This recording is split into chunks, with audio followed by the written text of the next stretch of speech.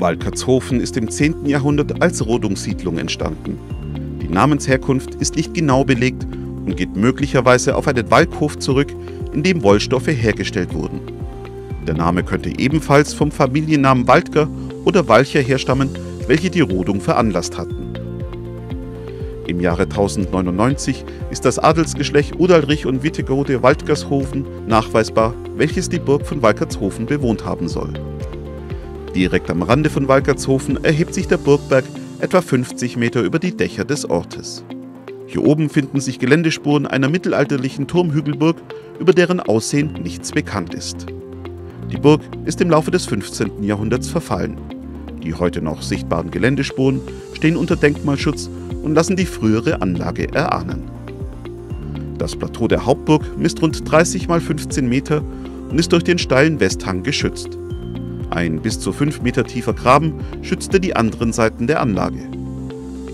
Vor der Hauptburg befand sich eine halbkreisförmige Vorburg, von der nur noch ein 40 Meter langer Rest eines Wallgrabens zu erkennen ist. Der Rekonstruktionsversuch des Burgstalls Schlösslesberg bei Zusmarshausen vermittelt eine Vorstellung davon, wie in etwa auch die Turmhügelburg von Walkertshofen ausgesehen haben könnte. In seiner Geschichte hat der Walkertshofen verschiedene Grundherren und Zugehörigkeiten so zum Beispiel die Hattenberger, die Ritter von Schwabeck, die Staufer und ab 1390 das Domkapitel Augsburg. Nach der Säkularisation im Jahre 1803 wurde Walkertshofen eine selbstständige Gemeinde. Sie gehörte zunächst zum Landgerichts- und Rentamtsbezirk Ursberg und seit 1837 zum heutigen Regierungsbezirk Schwaben. Die Kriege gingen nicht spurlos an Walkertshofen vorbei. Eine Gedenktafel unterhalb der Kirche erinnert an die Gefallenen.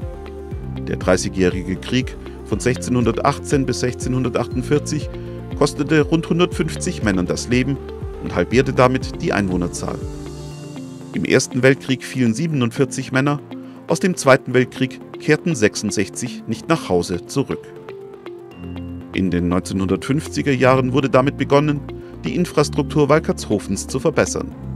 In den folgenden Jahrzehnten wurden beispielsweise Kanalisation, Kläranlage und Wasserversorgung modernisiert, Straßen asphaltiert und eine neue Schule gebaut.